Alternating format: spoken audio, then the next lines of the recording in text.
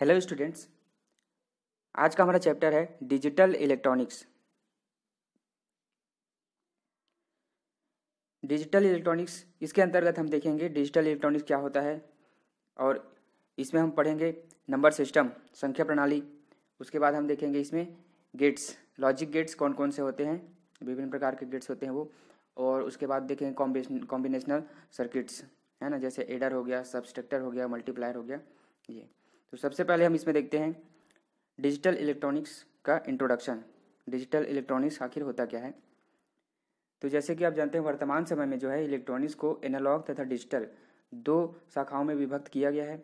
Analogue electronics का मुख्य आधार जो है एनालॉग सिग्नल, है ना? एनालॉग सिग्नल जो कि एक सतत सिग्नल, है ना? जैसे कि साइन वेव होता है, सतत सिग्नल, है ना? जो किसी पैरा जो किसी के पैरामीटर या का समय के साथ निरंतर परिवर्तन को दर्शाता है, जबकि डिजिटल इलेक्ट्रॉनिक्स जो है पूर्णतः डिजिटल सिग्नल पर आधारित होती है। डिजिटल सिग्नल वोल्टेज के पृथक पृथक स्तरों, है ना अलग अलग स्तरों में होने वाले परिवर्तनों को दर्शाता है। इसमें वोल्टेज की राशियों को ज़ीरो और वन, है ना, ज़ीरो और वन दो राशि। डिजिटल इलेक्ट्रॉनिक्स में क्या होता है, ज़ीरो और वन दो ही राशि के समूह को प्रदर्शित किया जाता है। अतः संपूर्ण डिजिटल प्रणाली जो है, बाइनरी संख्या पद्धति पर आधारित होता है, जिसमें केवल दो अंक, ज़ीरो और वन, है ना? ज़ीरो और वन का प्रयोग किया जाता है। इन डिजिटल माध्यमों में सूचना का भंडारण आसान हो जाता है है ना? किसी सूचना को अगर संरक्षित करके रखना है, स्टोर करके रखना है तो वह आसान हो जाता है। अतः डिजिटल इलेक्ट्रॉनिक्स में डिजिटल प्रणाली द्वारा किसी सिग्नल एवं विविध प्रकार के डिजिटल परिपथों की सहायता से अधिक सुगमतापूर्वक एवं त्रुटि रहित कार्य पूरा किया जा सकता है। सबसे पहले हम इसमें देखते हैं नंबर सिस्टम, संख्या प्रणाली। संख्या प्रणाली जो है बहुत ही जटिल होती है क्योंकि इसमें शून्य के लिए कोई संकेत नहीं होता। बाइनरी, ऑक्टल, डेसिमल एवं हेक्साडेसिमल जो है मुख्यतः उपयोग में की जाने वाली संख्या प्रणाली है। संख्या प्रणाली में एक बेस या कह सकते हैं रेडिक्स, है ना? बेस या रेडिक्स होता है। उदाहरण के लिए जैसे कि डेसिमल में बेस या रेडिक्स आपका होता है टेन। यहाँ पे टेबल में आप देख रहे हैं, चार प्रकार के नंबर सिस्टम यूज़ किए जाते हैं। पहला हो गया आपका बाइनरी, दूसरा है ऑक्टल, तीसरा है डेसिमल और चौथा है हेक्सा बाइनरी, ऑक्टल, डेसिमल और हेक्सा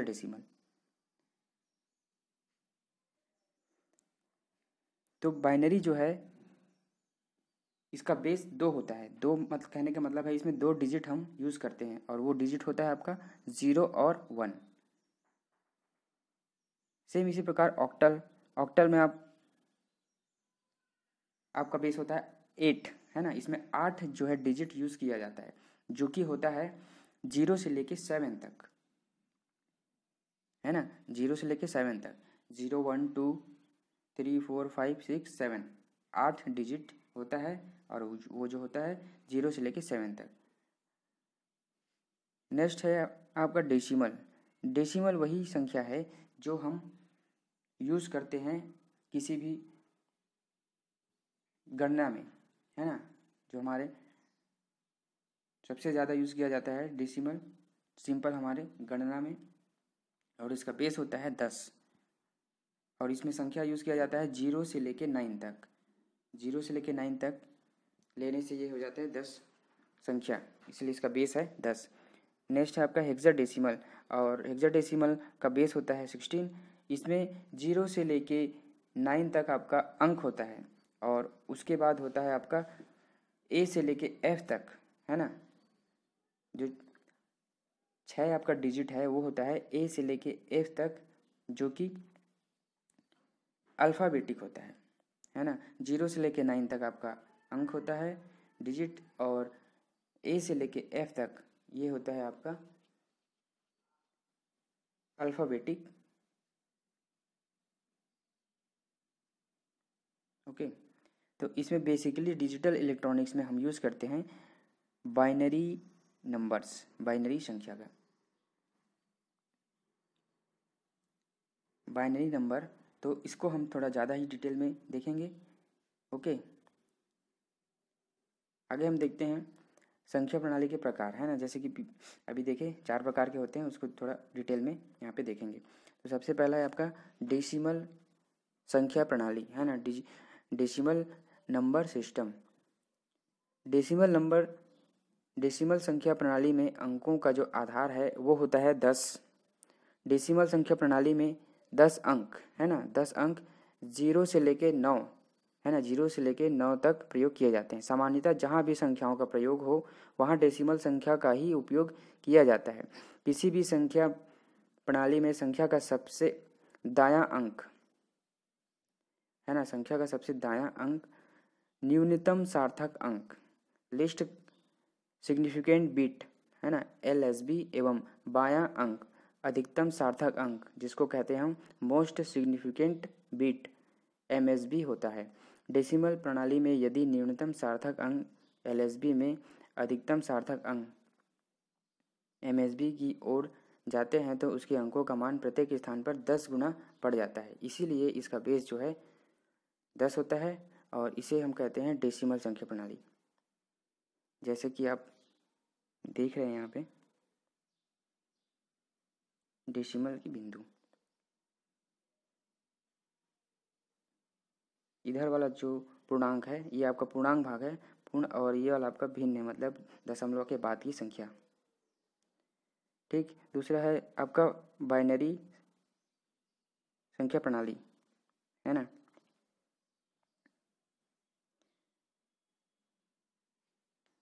बाइनरी संख्या प्रणाली क्या होता है? सामान्यतः कंप्यूटर जो है बाइनरी संख्या प्रणाली पर आधारित होता है। है ना? कंप्यूटर और बोलने का मतलब है पूरा डिजिटल इलेक्ट्रॉनिक्स हमारा बेस्ड है बाइनरी संख्या प्रणाली पे, है ना? क्योंकि कंप्यूटर को दिए जाने वाले निर्देश बिट्स यानी कि ज़ीरो या तो वन है ना? इन दो नंबरों के समूह में दिए जाते हैं ज़ीरो या वन तो यहाँ पे जो है ज़ीरो का मतलब होता है ऑफ़ है ना? या फिर असत्य बोल सकते हैं। ज़ीरो का मतलब होता है ऑफ़ या फिर असत्य। या फिर निम्न ऑफ़ फॉल्स या तो लो उसी प्रकार वन का यहाँ पे मतलब होता है ऑन सत्य या तो उच्च. ज़ीरो का मतलब होता है ऑफ़ फॉल्स या लो वन का मतलब होता है ऑन ट्रू या तो हाई इस प्रकार दो अंक या बिट्स पर आधारित यह प्रणाली बाइनरी प्रणाली या बेस टू प्रणाली कहलाती है। इस प्रणाली में व्यक्त की गई संख्या बाइनरी संख्याएँ कहलाती है।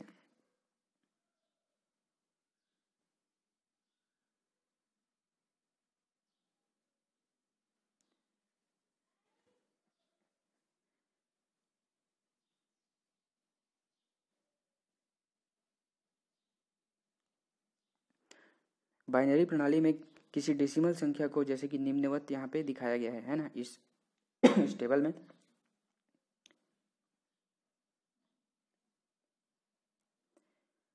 जैसे ज़ीरो का तो आपका ज़ीरो ही होगा। वन का हो आपका हो जाएगा ज़ीरो ज़ीरो वन। टू का हो जाएगा zero zero one zero. Three का है ज़ीरो ज़ीरो। थ्री का है आपका zero zero one one. Four का है zero one one. Zero one zero zero. Five का है। फाइव का यहाँ पे zero one zero one. Six का है zero one one zero. Seven का है ज़ीरो, वन वन वन। इस प्रकार और आगे भी हम देख सकते हैं। नेक्स्ट हम नेक्स्ट हम देखते हैं। बीट जो है हमारा सबसे छोटा इकाई होता है। है ना? डिजिटल इलेक्ट्रॉनिक्स में बीट्स जो है हमारा सबसे छोटा इकाई होता है। जैसे कि एक bit is equal to one bit हो गया। और निब्बल।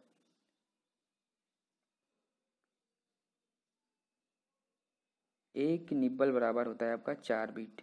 मतलब इसमें